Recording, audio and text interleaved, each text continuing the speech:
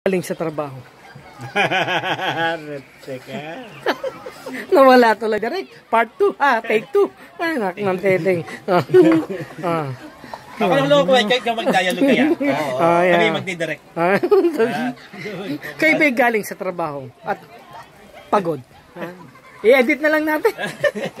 Wala kayong gagawin kundi magtanggal ng sapatos. Ha? Kukuha Magso- ng baso. Ayun. Oh. Ha? Kukuha ng baso. Tagaya.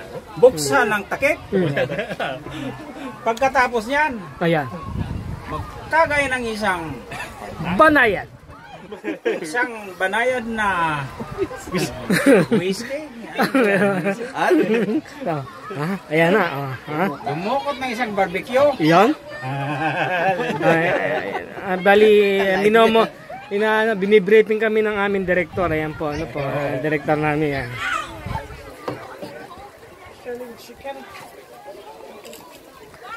Saksakan ng tilapia. Yan.